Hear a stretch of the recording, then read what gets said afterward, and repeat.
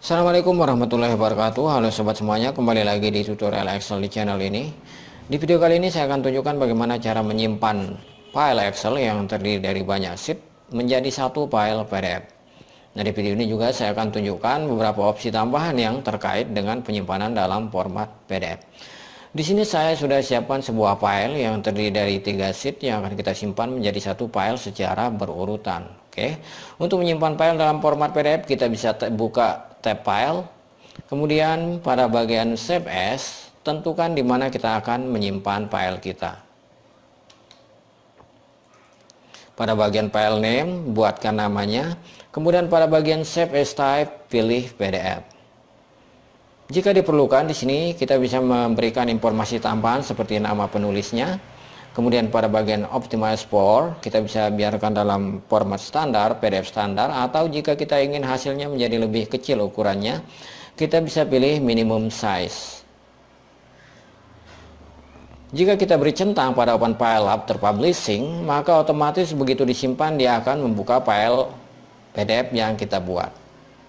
Kemudian di sini ada tombol option, kita bisa pilih tombol option, maka terbuka, akan terbuka kotak dialog option. Kita akan lihat terlebih dahulu pada bagian publish what karena ini akan terkait dengan yang di atas.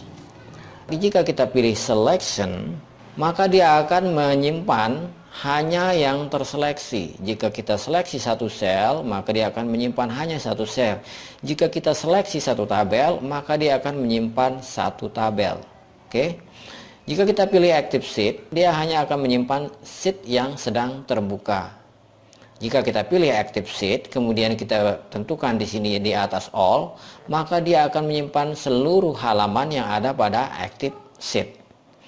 Jika di sini active sheet, kemudian kita tentukan page di atasnya, maka kita bisa menentukan halaman mana saja pada active sheet yang akan kita simpan. Oke. Karena di video ini kita akan menyimpan semua sheet menjadi satu file. Kita bisa pilih entire workbook. Oke. Kemudian kita biarkan pilihan pada bagian background ini menjadi all karena kita ingin menyimpan semua halaman yang ada pada semua sheet yang ada pada file kita. Kemudian klik OK. Setelah itu pilih save. Oke. Sekarang bisa kita lihat di sini semua file yang ada pada sheet tersebut disimpan menjadi satu file PDF. Nah itu tadi cara menyimpan seluruh sheet Excel dalam satu file PDF. Semoga bisa dipahami dan dapat bermanfaat. Jika kalian suka dengan video ini silahkan subscribe, like, dan aktifkan notifikasinya. Terima kasih telah menonton. Sampai jumpa di video berikutnya. Wassalamualaikum warahmatullahi wabarakatuh.